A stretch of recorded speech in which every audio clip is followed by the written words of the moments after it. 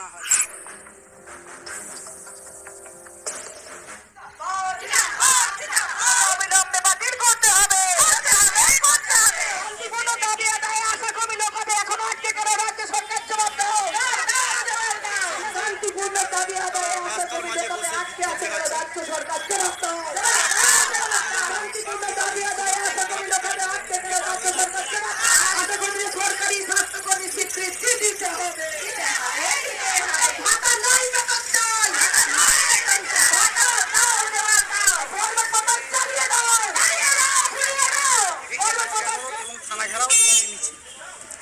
আমাদের দাবি হচ্ছে যে আমাদেরকে আমাদের মূলত দশ অনেক দশটা দাবি আছে।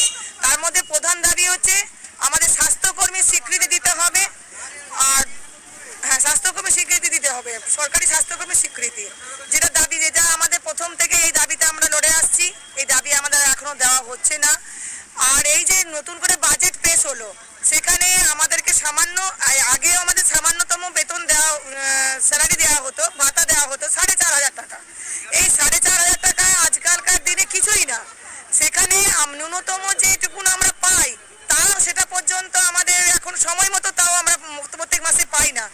এই নতুন করে বাজেট পেশ হচ্ছে সেখানেও আমাদেরকে কোনো ভাতা বাড়ানোর কোনো উল্লেখ নেই আশা কর্মী টোটালি বাদ এদিকে দিদি আমাদেরকে বলছেন উম, যে আমরা নাকি বীরঙ্গনা বীরঙ্গনা উপাধি দিয়ে তো আমাদের কোনো কা- মানে আমাদের তো পেট ভরবে না আমাদের চাই বেতন আমাদের ভাতা চাই না বেতন চাই আমরা তাই সরকারি স্বাস্থ্যকর্মীর দাবিতে আজকের এই অবরোধ আর আমাদের যে এই দাবির গত কত ছিল গতকাল গতকাল আমাদের ধর্মতলায় যে বিক্ষোভ মিছিল হয়েছিল সেখানে আমাদের রাজ্য সম্পাদিকা সহ প্রায় চল্লিশ জন আশা কর্মীকে ওখানে গ্রেপ্তার করা হয়েছে। তারা এখনও লোকাবে বন্দী আছে। আমরা চাই ওনাদের অবিলম্বে মুক্তি চাই। এই দাবিতেই আপনাদের হ্যাঁ আমাদের। আপনার নাম? আমার নাম পূর্ণিমা বিশুই। পথ অবরোধ এবং থানা ঘেরাও কিসের দাবি? আমাদের দীর্ঘদিন বঞ্চনার দাবিতে আমাদের অবরোধ আজ আমাদের দীর্ঘ, আমরা দশ বছর এই লড়াই করে যাচ্ছি। আমাদের আগে ভাতা ছিল। সেই ভাতাটা আটশো টাকা ছিল। আটশো টাকা কাজ থেকে আমরা আস্তে আস্তে শুরু করে করে আমাদের আজকে রাজ্য মানে রাজ্য সরকার তবুও আমাদেরকে মানে সম্মান দিয়ে সাড়ে চার হাজার করেছেন।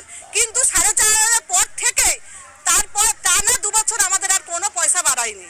সুতরাং কেন্দ্র আমাদের কখনোই, কেন্দ্র আমাদের কখনোই পয়সা দেয় না সুতরাং আজ আমরা এই সংগ্রাম করতে করতে করতে করতে কালকে আমাদের চল্লিশ জন আশাকর্মীকে এবং আমাদের নেত্রীকে লোকাপে কুড়ানো হয়েছে। সেই জন্য আমাদের আজকে এই পথ অবরোধ এই আন্দোলন।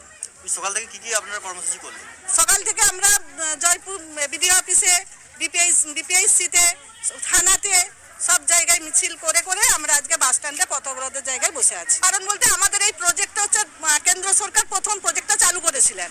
দু হাজার পাঁচ সালে। সেই কেন্দ্র সরকার প্রজেক্টটা আমাদের একটা ফর্মেটে আমরা কাজ করি। স্যার, জানেন খিচুড়ি কি জানেন? খিচুড়িতে মানে মিশলে নিয়ে সব কিছু দেওয়া হয়। চাল, ডাল, হলুদ, নুন, তেল। সেইভাবে আমাদের আশা কর্মীদেরকে স্বাস্থ্য দপ্তরের সমস্ত কাজ করানো হয়। একবারে মানে এ টু জেড আমাদের সমস্ত কাজ আমাদেরকে করানো হয়। সেই ক্ষেত্রে আমাদের সাম্মানিক ভাতাটুকু এবছর আমাদের কোনোভাবেই বাজেটে বাড়ালো না এই যে আপনারা যে বিক্ষোভ করছেন আপনাদের আপনারা বলেন যে গ্রেপ্তার করেছেন চল্লিশ জন মহিলাকে আপনারা কি নিঃস্বার্থ মুক্তি চাইছেন নাকি বলছেন? না আমরা নিঃস্বার্থভাবে ওদেরকে মুক্তি দিতে বলছি এবং প্রয়োজন হলে আমরাও লোকাপে যাব।